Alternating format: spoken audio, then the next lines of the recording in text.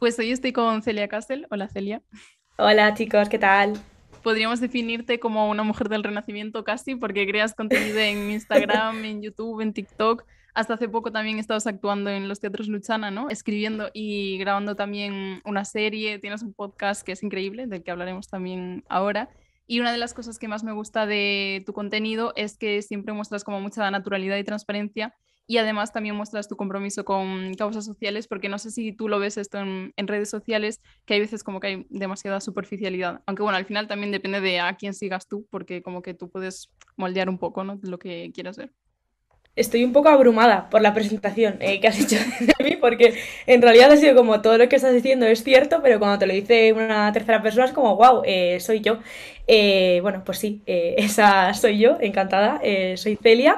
Y, y, lo último que has dicho sobre los temas sociales, la superficialidad y así, sí que es algo que veo mucho en redes. Yo sí que es cierto que cuando era más pequeña, con 16, 17 años, yo llevo muchos años en redes sociales, eh, tenía como, tuve esa buena rebelde de super causas sociales y todo mi contenido sí que se centraba un poco más en eso, especialmente en YouTube. Ahora está como todo un poco más diluido, se nota un poco el trasfondo y, y por dónde tiro yo más o menos, pero sí que como que he quitado un poco el foco, el foco en eso, sí. Y aunque tú no lo hagas, lo sigues consumiendo de otras personas ese tipo de contenido. Sí, sí, por supuesto. O sea, me encanta el contenido de divulgación y yo, en cierta manera, pues intento divulgar de muchas cosas. Lo que pasa es que yo no soy profesional como en ningún tema en concreto. Me interesan como muchas cosas. Entonces, como que intento transmitir los conocimientos que yo tengo. Em, por eso no me considero divulgadora ni, ni, muchísimo menos. Pero sí que me gusta mucho consumir contenido que tenga, pues eso, eh, compromiso social.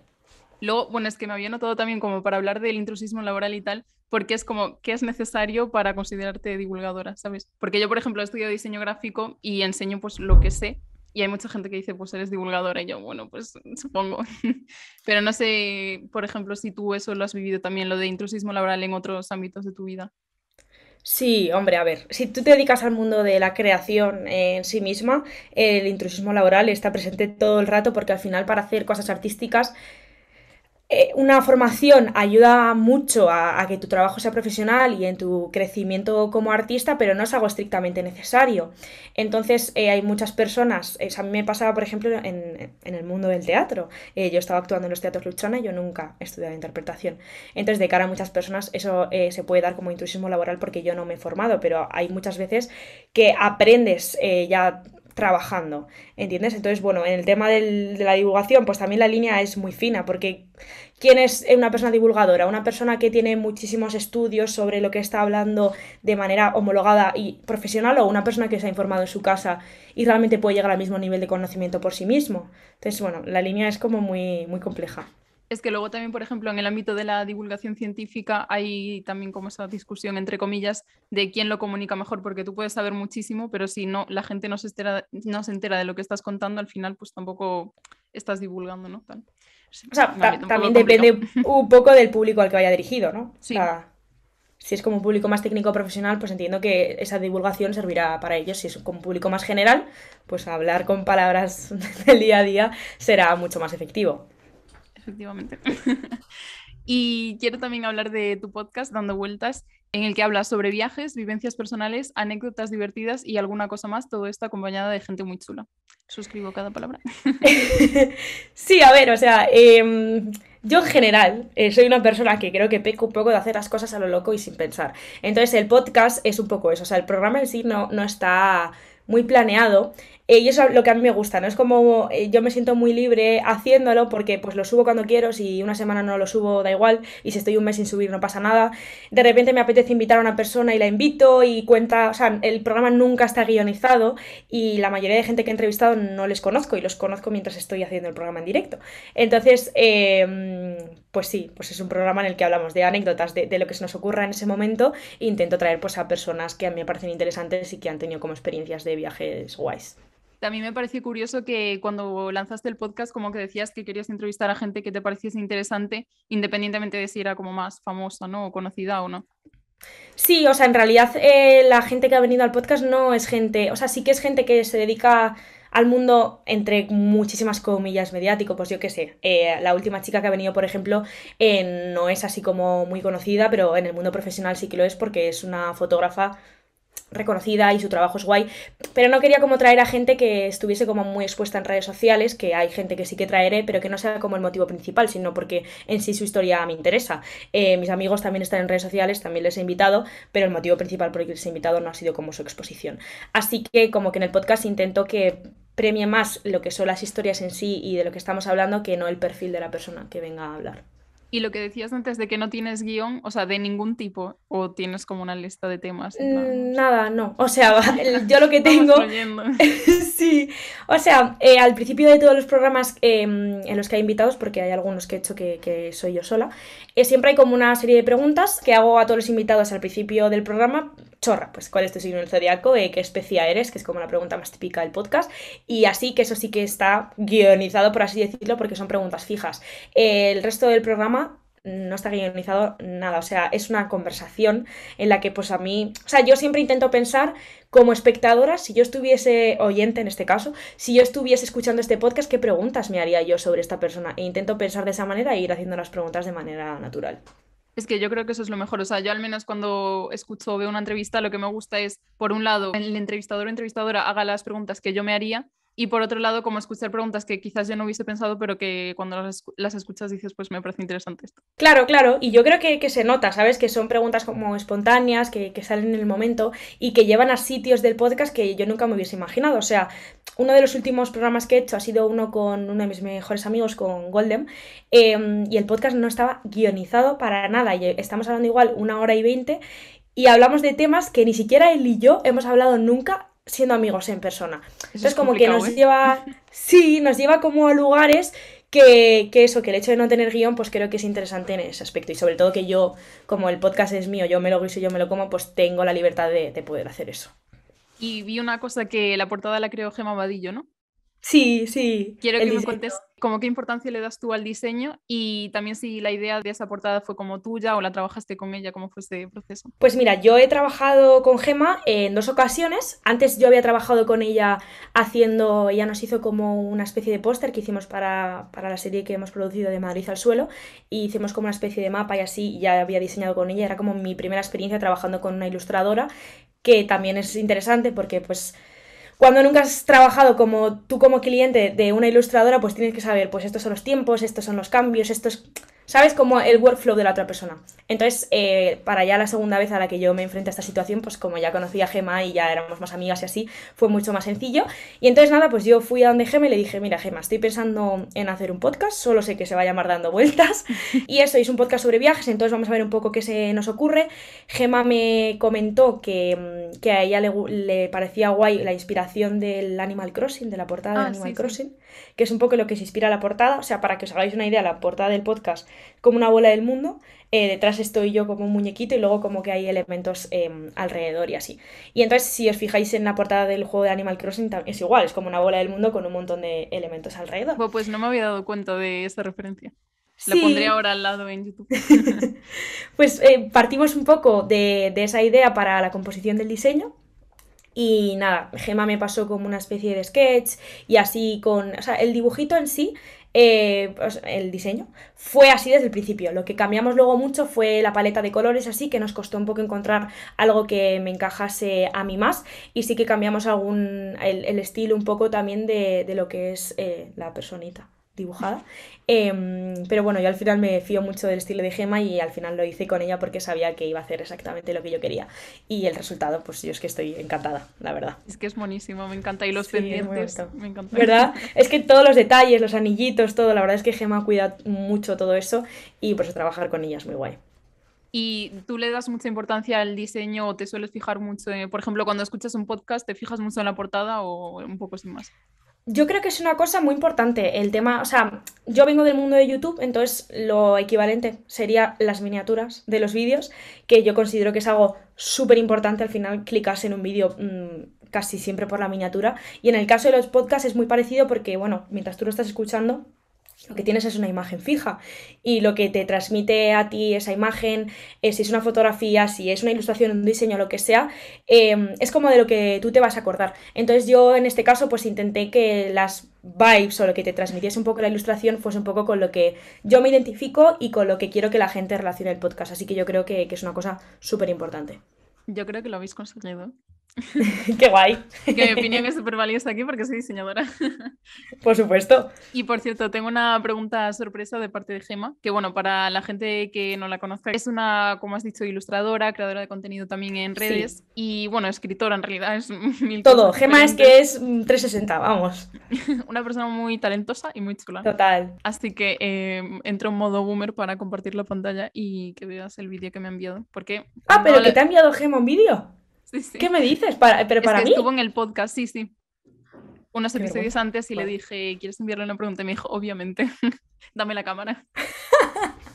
A ver, un momento. Hola amiga, ¿qué tal? ¿Cómo estás? Mi pregunta para ti es súper simple, no me voy a complicar y es la siguiente. De todos los países en los que has estado, ¿dónde has probado el mejor café? Una cafetería que tú digas, "Mm, me quedaba yo a vivir, que sé que es un plan que a las dos nos gusta mucho. Un besito a las dos chicas. Ay, qué maja, la adoro. No me esperaba para nada esta pregunta, pero me estoy sorprendiendo porque lo tengo clarísimo. El de los mejores cafés que yo he tomado en mi vida es súper random, ¿vale? Pero ha sido en Macedonia del Norte. Vale, Eh, no me esperaba, ¿eh? Sí. No sé por qué, pero bueno, eh, yo, bueno, yo estuve de viaje con mi mejor amiga en un sitio que se llama Okrit, ¿vale? Que es como un sitio muy conocido dentro de Macedonia del Norte. Es como muy turístico y así, y es un lago, es un pueblito a su alrededor de un lago y es eh, pues muy de vacaciones y tal. Y allí tenían una especie de café que llamaban Nescafé, en plan como la marca. Y era eh, un café súper grande, como con hielo, eh, mucha espuma. Y yo lo tomo normalmente con, con leche de avena. Y no sé si es por la leche o por el café que utilizaban, pero me, o sea, me recuerdo que me despertaba todas las mañanas queriendo ir corriendo a por ese Nescafé, eh, porque es de los mejores que yo me he tomado en mi vida. O sea que Bueno, me la definitivamente ese. No sé si voy a ir a Macedonia del Norte, pero... Y la zona era bonita en la que estuviste. A mí es que ese país me encanta. O sea, yo tengo muchos amigos allí, entonces también por eso me, me gusta mucho. Em, pero ya te digo, si puedes buscar imágenes o lo que sea de lo que es el lago de Okrit, eh, búscalo porque es espectacular. Pues lo, lo buscaré. Pondré también fotos. Los que estén escuchando en Spotify o por el podcast me van a odiar, pero bueno. Haber ido a YouTube, lo siento. Eh, Exacto. Y hace unos días encontré un cuestionario de BuzzFeed, porque bueno, el nivel de este podcast es altísimo, como puedes ver, que te dice cuáles son las vacaciones de tus sueños según tu signo zodiacal. Y cuando lo vi dije, ¡Ah! pues esto es Celia. Así Es que- estupendo. pero yo esto necesito también llevarlo a mi podcast. ¡Qué chulada! Porque dando yo. vueltas, para la gente que no lo sepa, sueles preguntar, bueno, ya lo has dicho antes, a las personas que invitas cuál es su signo. Así que quiero que me digas si estás de acuerdo con lo que sale. De repente este podcast ha convertido en mi podcast favorito. O sea, qué guay. Y yo, bueno, igual le parece una chorrada. ¿Qué va? Eh, vale, ¿qué signo eres tú? ¿Eras Escorpio o no? Eh, solar, eh, soy Libra. Vale, o sea, sí. el principal es este, ¿no? Eso es.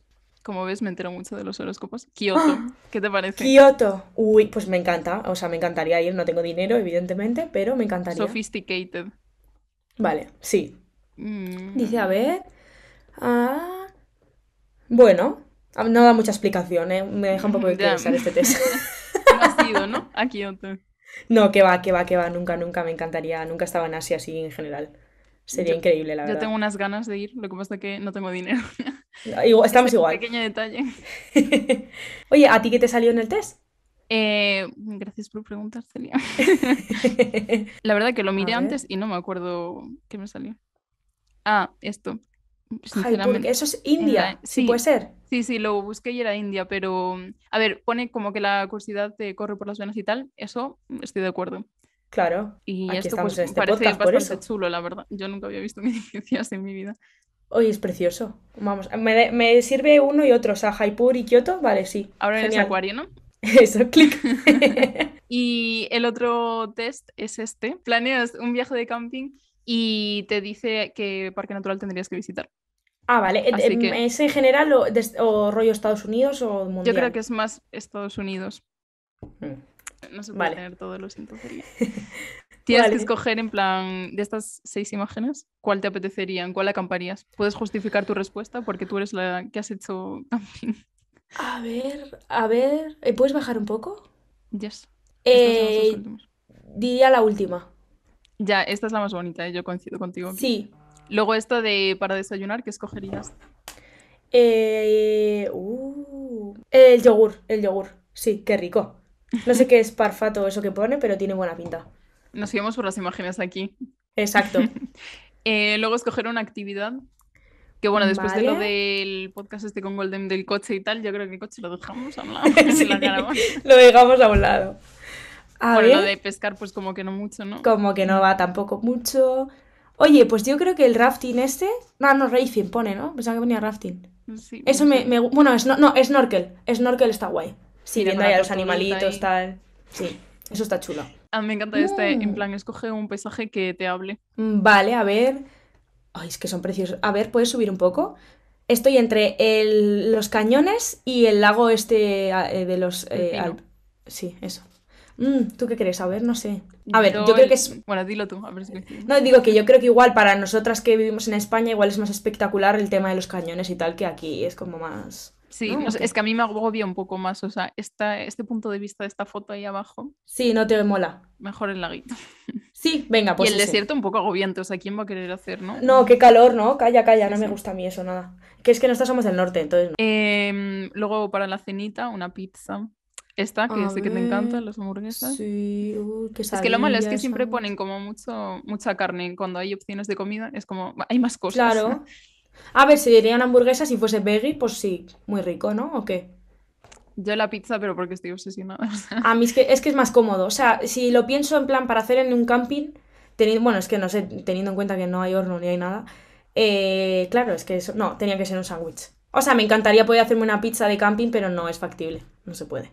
Bueno, pues un sándwich. Un poco cutre, Luego, la verdad, pero... Escoger una actividad de tarde.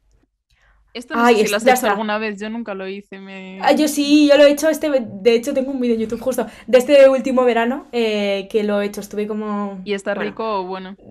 em, está bueno, a ver, a medias, es un poco la fantasía de decir, ay, qué chulo estoy en Estados Unidos, pero a mí tampoco me hace mucha gracia. Yo creo que de aquí elegiría em, la de ver las estrellas, yo soy muy fan de eso. Ya, yo creo que también, ¿eh? Sí. Eh, me O encanta yo- esto de night hiking, es como ya se supone que estás andando y caminando, ¿no? Haciendo cosas todo el rato como para un por encima de noche ponerte ahí. Y qué miedo, ¿no? Que te sale algo Ya. por ahí. Bueno, y esto de Un poco Midnight peligroso. Swim parece de una película de terror, ¿no? Ese paisaje, ¿o no? A mí me recuerda a H2O. ya es que la luna, en plan, Sí, parece Demasiado grande. Eh, creo que ya son de las últimas. Ah, eh, la cosa con la que no podrías ir, o sea, sin la que no podrías ir. Mm, Vale, a ver. ah, nada, Your Best de. Clean Bathroom. Escogería a mis amigos porque yo siempre he ido con ellos eh, en plan de camping, sí. Yo también. Es que a mí me das este botiquín y si me hago una herida, pues como que no lo voy a usar, ¿no? Me prefiero a mis No. amigos que seguramente me ayuden más. Exacto, y te cuidarán, total. A ver si sale ya. Bueno, pues este. Oh. Mira, las vistas, geniales. ¿eh? Es espectacular. Es eh, Glacier National Park. Montana no sé- está. Preciosa esa zona, claro, claro. Eh, me recuerda un poco a una de mis películas favoritas es Into the Wild, eh, que no sé si sabes cuál es. Sí, rutas salvajes. Es que creo que la vi hace tiempo ya, la verdad, no me acuerdo de Pues tiene como, o sea, bueno, esto es en British Columbia, pero que es un paisaje muy parecido, en plan Alaska, con nieve y con montañas y tal, qué bonito. Pues es súper de acuerdo con este test, la verdad. Bueno, pues ya tenemos tres destinos que visitar. Cuando Así tengamos que hay que ir ahorrando. Y hablando de diseño, creo que compartimos la pasión por los pendientes, aunque ahora hoy no llevas, ¿no? No, es que me estáis pillando en pijama. O sea, todo esto así inesperado. Lo siento un montón. Eh, pero sí, Eso me encantan los por no escuchar el audio. Lo siento. Y si tuvieses que diseñar unos pendientes que te representasen, ¿cómo serían? En plan, colores, formas. Em, vale, pues yo creo que haría unos pendientes. O sea, me gustaría que tuviesen la forma de un o de un sol y una luna o conjunto de sol y luna, porque es como una energía que, que me gusta, me parece bonito. Lo que pasa es que, claro, no me imagino eso hecho como de arcilla polimérica ni nada así de colores, ¿sabes? Ya, Es complicado que, que quede bien. Tendría que ser, es que yo tengo unos de sol y de luna que son como de plata, entonces eso me gustaría. Si no, eh, pues los haría de algún color así que me represente, me gusta mucho el color naranja, el amarillo y el morado, o sea que sería uno de esos tres. Y me imagino a lo mejor como unos aros así grandes, bonitos, me, me gusta, sí. Que Bueno, sean pues- vistosos. Si hay marcas de pendientes, queremos esa colaboración. Exacto, bueno, me muero, me encantaría, ya ves, qué guay. Y el otro día subí una story diciendo que estaba muy ilusionada porque ibas a venir al podcast. Y Lo suelo vi, lo vi, lo preguntar vi. a la gente como de qué temas quieren que hablemos y tal. Y uno de los temas era la conciencia medioambi- medioambiental en redes que no sé en qué punto estás tú con este tema, porque yo, o sea, me considero una persona poco consumista, no como carne, intento reutilizar todo, etcétera. Pero es cierto que cada vez como que me aparecen más mm, artículos y vídeos sobre el greenwashing, que bueno, para quien no lo sepa es un término que hace alusión a una práctica destinada a crear una imagen ilusoria de responsabilidad ecológica ¿Y tú tienes esperanza respecto a este tema o hay alguna cuenta también que sigas en redes o alguna forma que uses para informarte y aprender sobre esto? Lo que he comentado justo al principio del podcast es que yo tuve mi época loca. en plan, tienes 16 años y vas a cambiar el mundo. Y, y estaba obsesionadísima con el tema del el zero waste, llevar una vida eco. Hice bastantes vídeos que, creo que de hecho son de los vídeos que más orgullosa estoy de mi canal. El de una semana sin plástico, una semana siendo vegana y como pues intentando llevar una vida eh, mucho más consciente. Entonces como que yo ah, desde pequeña ya he empezado con ese estilo de vida.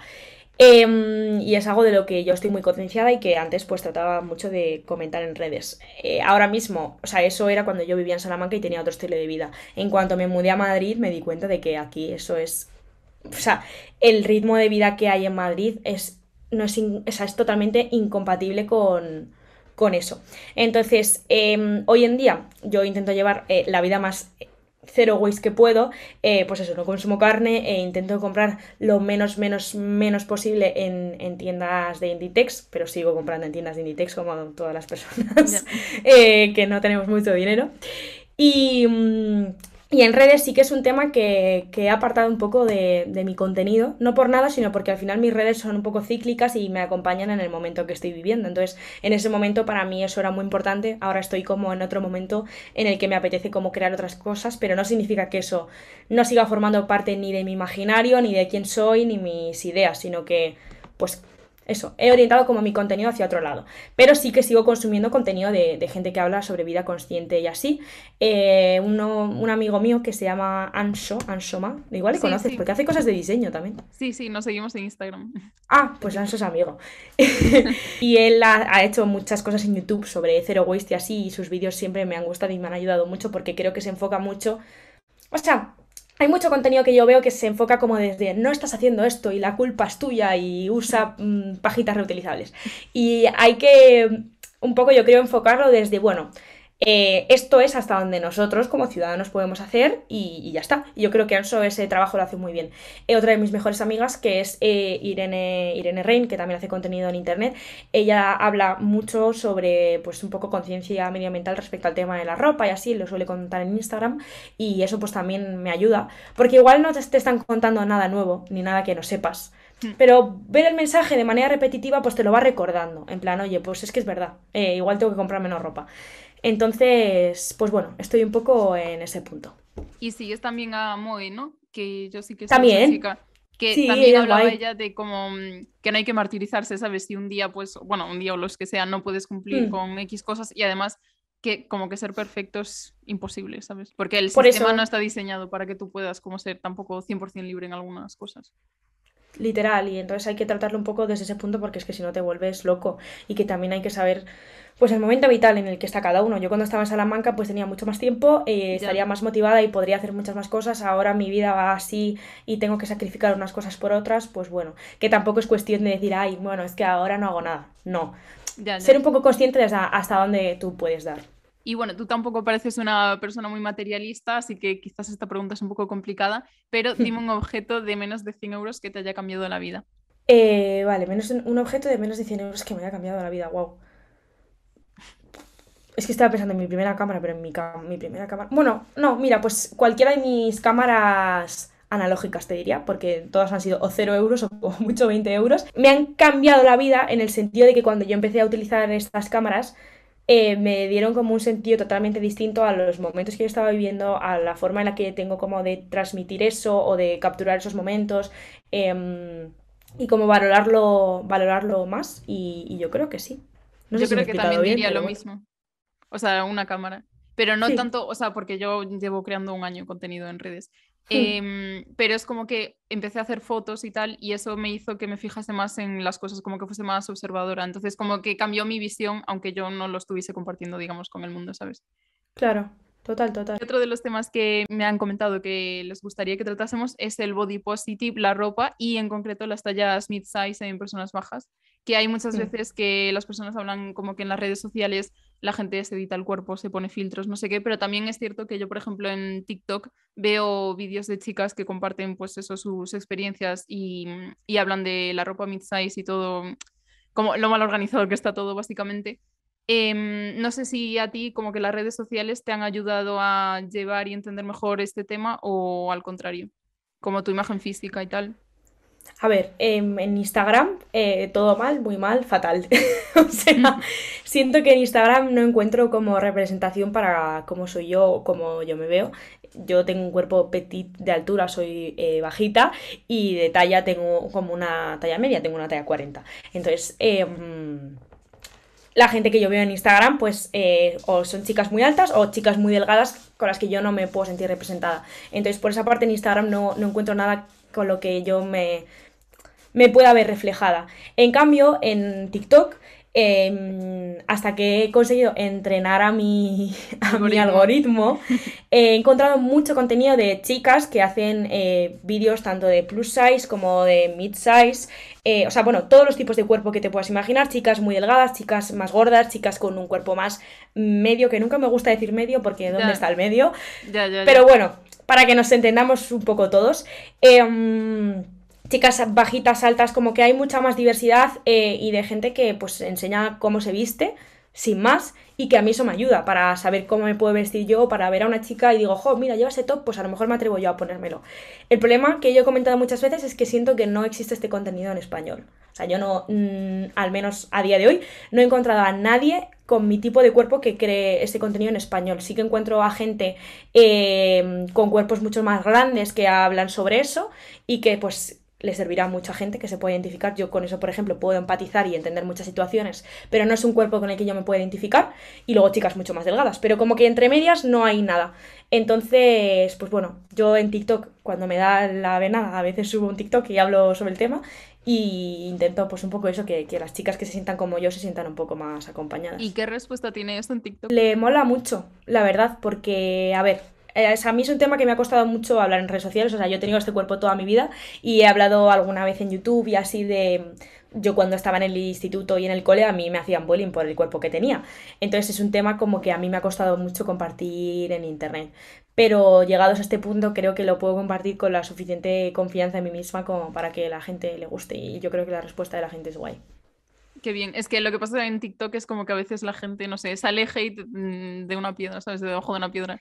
Entonces, total, total. como que es complicado, entiendo, porque hay veces que dices tú, bueno, pues igual puedo reflejar esto para ayudar a otras personas, pero que también es como, no tienes la obligación de exponer tus cosas, ¿sabes? Por ayudar. O sea, que entiendo que es complicado, ¿sabes? Sí, o sea, yo lo hago realmente porque, ya te digo, igual he hecho cuatro vídeos sobre el tema, pero porque realmente a mí es lo que me hubiese gustado ver. Al, al llevar muchos años en internet, también soy muy cauta con cómo mm, comunico las cosas y desde dónde. Y en general nunca, y toco madera, he tenido ninguna polémica ni ningún problema masivo de hate, porque creo que he sido bastante cauta a la hora de comentar según qué mensajes. Entonces, bueno, pues es que hay que tener cuidado. Ya. Que la semana pasada creo que habías compartido algunos perfiles, ¿no? De chicas. Sí, Lo que pasa es que se me olvidó hacerle captura. No sé si te acuerdas de algún nombre para poner aquí. Casi todos eran de contenido de personas angloparlantes, eh, de personas que crean contenido en español, en castellano eran eh, Croquetamente, que ella habla mucho sobre temas de TCA y así, que es muy interesante. O sea, ya te digo, son temas que a mí me interesan mucho, solo que, y empatizo y me, me gusta mm, como saber sobre el tema, pero no con los que yo me puedo identificar, pero igualmente es información muy valiosa. Entonces te digo, eso, eh, Croquetamente, eh, Teresa López Cerdán, que además las, entre ellas son amigas, hacen una obra que se llama Gordas, que también es muy guay aquí en Madrid, eh, que habla mucho sobre este tema, y, mm, y ellas hablan mm, de manera muy interesante sobre para lo que ella supone y ha suponido, supuesto, suponido, madre mía, y ha supuesto toda su vida ser gorda y que la gente las conciba como gordas. Entonces hablan mucho sobre ese tema. Y ellas dos son guays. Y, y en castellano creo que no compartí mucho más, o no me acuerdo ahora mismo. Bueno, yo Sí. creo que esos perfiles quizás alguna persona que lo esté escuchando no conoció todos, así que... Que el otro día vi un post de cómo nos habían vendido desde pequeñas que personajes como por ejemplo Raven y Harper de Los Magos de Waverly Place estaban gordas, que no sé si tú lo viste, no sé si fue en Twitter o algo así, Y no sé, para mí fue como chocante porque en mi mente eran personas realmente gordas y las vi y dije, ¿qué? ¿En qué momento, sabes, cómo nos manipularon tanto la percepción para que yo pensase eso? Y luego también de mm, personajes Disney, bueno, que esto seguro que lo viste en TikTok, de que las villanas o lo que sea tienen cuerpos pues o incluso con deformidades y luego las princesas pues son súper delgadas con la cintura súper marcada y eso. Sí, o sea, es muy fuerte como en lo de Disney se nos presenta que estar gordo o X es lo malo y en lo otro, no, o sea, en, el tema de, por ejemplo, lo de los modos de Weather Place así, nos comen la cabeza para pensar que realmente esa persona está gorda cuando no es la realidad. O sea, pasa también, no sé si tú has visto Merlí. Sí, Sí, Tania, ¿no? Pues Tania, por ejemplo, que eso ha sido hace nada, realmente. Y, nadie, en realidad en el momento en el que se emitió, yo creo que nadie estaba pensando, pues sí, es que esta chica no está gorda. Pero me explico, ¿no? Como que el lavado de cerebro está tan grande en redes sociales, en publicidad, en todas partes, que realmente nos paramos a pensar. O sea, yo veía a Tania y en... yo pensaba, pues es que yo tampoco soy muy diferente a Tania. ¿Me explico? Entonces, como que también te acepta, o sea, te afecta a tu autoconcepto y en cómo tú te percibes. No sé, es muy fuerte. Ya, es que en los medios también como que te, nos han creado muchísimas inseguridades. De hecho, últimamente, no sé si te sale a ti en Spotify un anuncio que es como, no sé, de dos chicas, una súper preocupada, en plan, no puedo salir de casa, no me he depilado, ¿sabes? Y yo, por favor, es, o sea, es como que te crean una inseguridad de decir, pues si no hubiésemos escuchado esas cosas, no hubiese sentido yo miedo, hubiese rechazado planes, ¿sabes? Por no estar depilado. Claro, o a lo mejor tú has tenido ese pensamiento alguna vez de manera irracional y lo ves en ese anuncio y dices, ah, vale, es normal, está bien que piense esto, cuando es lo que habría que cancelar, ¿sabes? Y el otro día también estaba pensando en las revistas estas, es que, ¿cómo se llaman? Bravo, Cuore y tal. Cuore, bueno, no sé. Sí, sí, Cuore, sí. Ah, Em, que había como historias en plan, bueno, yo no sé si eso era inventado o era real, pero imagínate, he ido a la playa y a una chica me ha visto o un chico me ha visto un tampón, ¿sabes? En plan, en el bolso porque era transparente y tú, ah, o sea, que eso está mal. Bueno, a ver, pero es que esas revistas en general, o sea, yo no sé si te acuerdas de la Cuore, que tenía como comentaban outfits de mujeres y tal, y ponían arriba bocadillos criticando mazo y cosas súper machistas. y súper fuerte pues sí, era como muy mítico de la cuore eso, o sea, e, en esas revistas en general estaba todo bastante mal. Sí. Ya, no sé si sigue existiendo alguna de esas, pero espero que no, o que hayan cambiado completamente, porque madre mía. Sí, yo creo que a día de hoy no, pero bueno, no, te sabría decir. Y quería preguntarte también a nivel de salud mental, porque se relaciona un poco también con lo que hemos estado hablando hasta ahora, ¿cómo has llevado la creación de, de Madrid al suelo? Porque creo que, o sea, había visto un vídeo de Tim, ¿no? Em, en el que hablaba de que se le había hecho un poco bola el proceso porque al final supongo que habrá sido bastante complicado. Intento no ser como muy de blancos y negros, ¿vale? Porque de Madrid al suelo yo es un proyecto al que le tengo mucho cariño, que creo que me ha hecho mucho bien y con el que he aprendido mucho y que si ahora volviese atrás en el tiempo lo volvería a hacer 100%. Ahora bien, ha sido un proyecto que me ha costado la salud mental, 100%. O sea, yo nunca me había enfrentado a algo así, nunca. También es porque hay como muchas situaciones personales que se meten eh, de por medio. Pero bueno, yo al final estaba, cuando empezamos con el proyecto en tercero de carrera, tenía 20 años, acababa de llegar a Madrid, eh, de repente era todo nuevo, de repente hago un grupo de amigos y de repente al mes estamos haciendo una serie, eh, hacemos un crowdfunding que es una locura y mm, de repente en el crowdfunding se mete muchísima gente de por medio, porque ahora tenemos una responsabilidad con 800 y pico personas que han puesto dinero y ahí es cuando el proyecto se empieza a poner serio.